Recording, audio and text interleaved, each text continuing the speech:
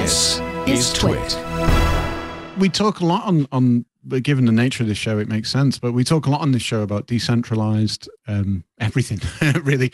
But um, you mentioned there there are good things about centralized or advanced some advantages to centralized systems as well. What would those be? Do you think?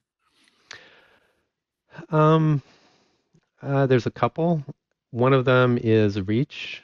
Uh, being able to news news for me. You know, I got I, I started getting most of my news from Twitter uh, probably five five eight years ago or something like that.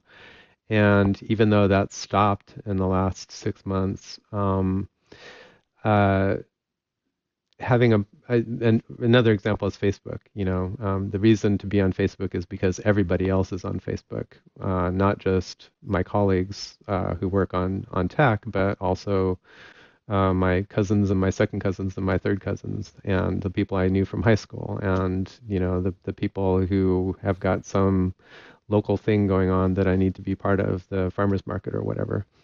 So that that centrality, the the the number of people is a real is is a real boon. Um, another another good and bad thing about centralization uh, is I, I, and we feel this keenly with Massive Wiki um, is uh, user interface and training and things like that.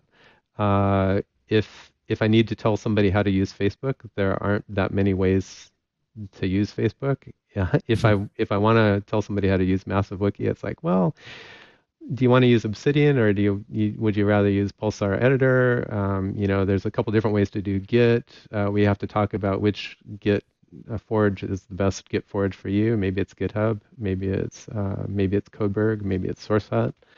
You know, it, and and all of those decentralizations mean that not everybody is having the same experience. So on Mastodon, I, I can only post 500 character posts. Um, and if I want to post, you know, 1500 characters, it's three posts that I hope will get kind of packaged together and linked together. Maybe, maybe not.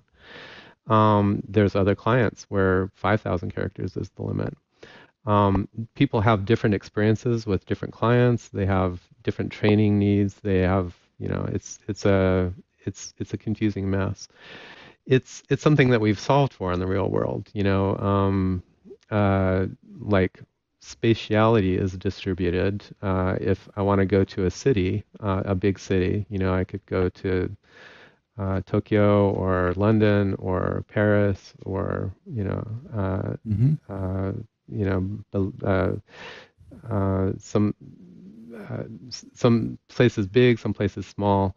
We have kind of common um, uh, common interfaces that we've come to. You know, I, I, I can probably figure out how the mass transit works uh, in you know in some some place. I can probably f- ask for help and get it. People have known how to you know oh you're from the big city let me tell you how it works here oh you're from a little town let me tell you how it works here that's all common experience and stuff that that you can tell it's kind of missing in the decentralized world. Um, but but we'll get there, you know. Tech Break is brought to you by ACI Learning. ACI Learning proudly announces that IT Pro, formerly IT Pro TV, joins its audit, cyber, and IT learning solutions. Join a community of learners who access more than 6,800 hours of IT courses to better their organizations. Visit acilearning.com and give your IT team superpowers with ACI training.